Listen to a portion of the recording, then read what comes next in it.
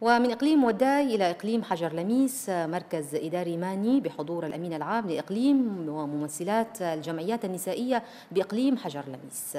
تفاصيل لدى محمد حسن.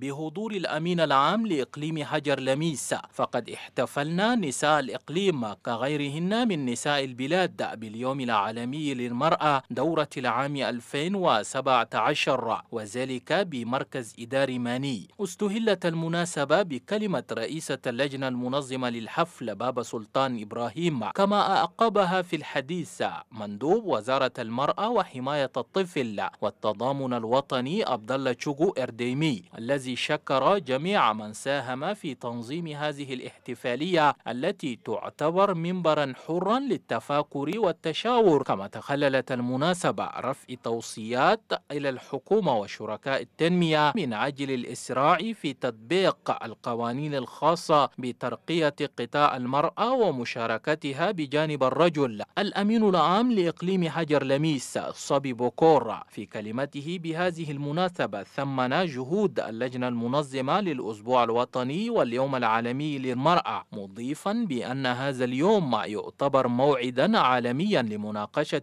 قضايا المرأة. كما أكد الأخذ بعين الاعتبار جميع التوصيات المقدمة ورفعها إلى الجهات المعنية لمراءاتها هذا وقد اختتمت المناسبة بعرض لمختلف الجمعيات النسائية والتجمعات الزراعية والرعوية والمهنية وكذا تلاميذ المدارس والثانويات الجمعيات التابعة للإقليم كما قدم العميل العام أدوات مدرسية لتلاميذ المدارس المشاركة.